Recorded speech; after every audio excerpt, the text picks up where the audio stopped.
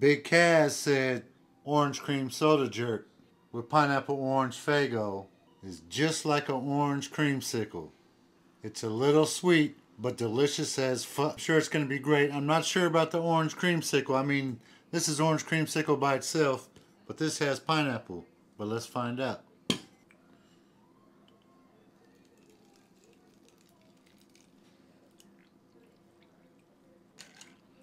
Did a quick spin. Let's check out Big Kaz's Orange Dreamsicle. Cheers.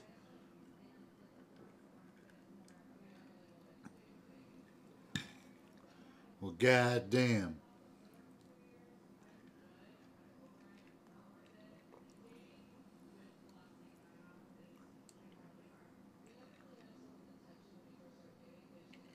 He's not lying. It's like a real creamy orange dreamsicle.